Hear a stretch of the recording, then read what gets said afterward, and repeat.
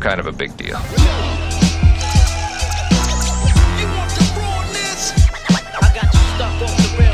The resurrection of the cheapie and this one had a little bit of talk about and a little bit of hype for a very short stint, but it's still a fragrance that's under 50 bucks. You can potentially find it even cheaper than that. So let's roll my motherfucking music so I can put you on and let you know if this shit is worth a cop or is definitely a drop.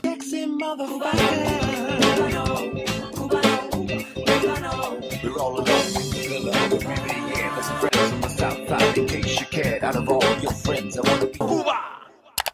Blessed morning, my beautiful peoples. You know who it is. It's your boy, C to the U to the B to the A. I've never spoken about a fragrance from this brand. It's not a house, it's a brand. Most likely, any of your girlfriends, mothers, aunties have gone into the store to buy lotion to stroke all over their chesticles.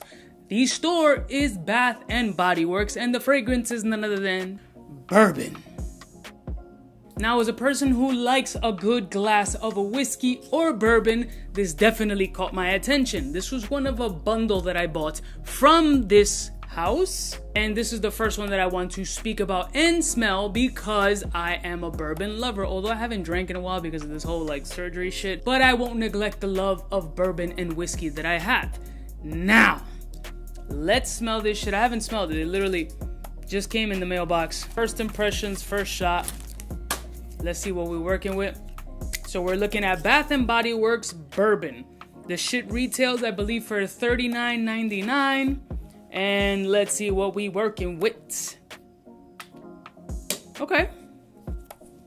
Very standard, generic, mass appealing. Has zero bourbon. Nothing bourbon y at all, other than the alcohol that is used to create this fragrance, but there is nothing bourbon. Don't get a fucking whiff of nothing bourbon. Obviously, this is the opening, maybe until on the dry down, but right now, nothing bourbon. What I am getting is a similarity to like some Abercrombie and Fitch shit. It has that kind of vibe. Very mass appealing, less sharp, less abrasive than Abercrombie and Fitch, like fierce. And something else. It's got a little bit of powderiness to it. Synthetic sweet amber powderiness. A little bit of peppery, youthful, fun. It's not bad. It's really not bad at all. There's just no bourbon. Like, I wanted a little bit of bourbon. I think if this had a bourbon flair, it would have switched it up very differently and this would have been a different story. The problem is that on paper right now, and this is completely first impressions, I haven't even put this shit on my skin, but on paper, you can just tell the performance is gonna be shit. Let me spray some on myself just to get a idea. Oh, it comes off a little, that, that red coloring does come off on the skin a little bit. Not too much though. Oh, Jesus, it's like dripping everywhere. On skin, it kind of smells like Dolce.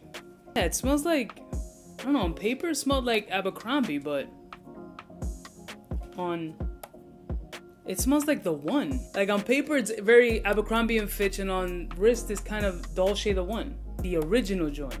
But yeah, I can definitely tell that this shit is gonna perform garbage.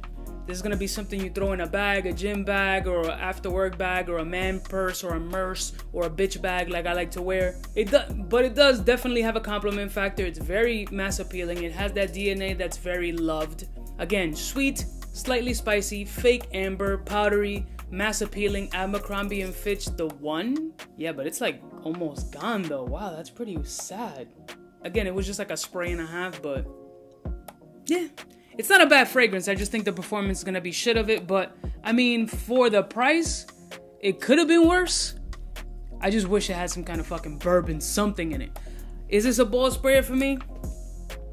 I like the price. I like the smell. I can tell the performance is gonna be shit. And I'm disappointed that it's not bourbon. So I'll give it a quarter ball spray. That's it. That's it. No more. Let me know what you guys think of bourbon from Bath and Body Works, and I love y'all motherfuckers from the heart. Which other Bath and Body Work fragrance you want to see next? Because I did back a couple of them, so let me know. I'll see y'all bitches next time. You know it is the biggest in the fucking game, son. Smooches. What's fresh? Who's best? Gonna pass the test? Cubano. Fly gun holder, money folder, Motorola StarTAC when it's time to call back. For the rough, rugged, and raw way, this nigga Jay, it's a game, but he don't play. Hey, for all the chicks that got dead in the penthouse suite on top of my mom's crib. And it's nonsense you never get in. It's nonsense that you would think that you would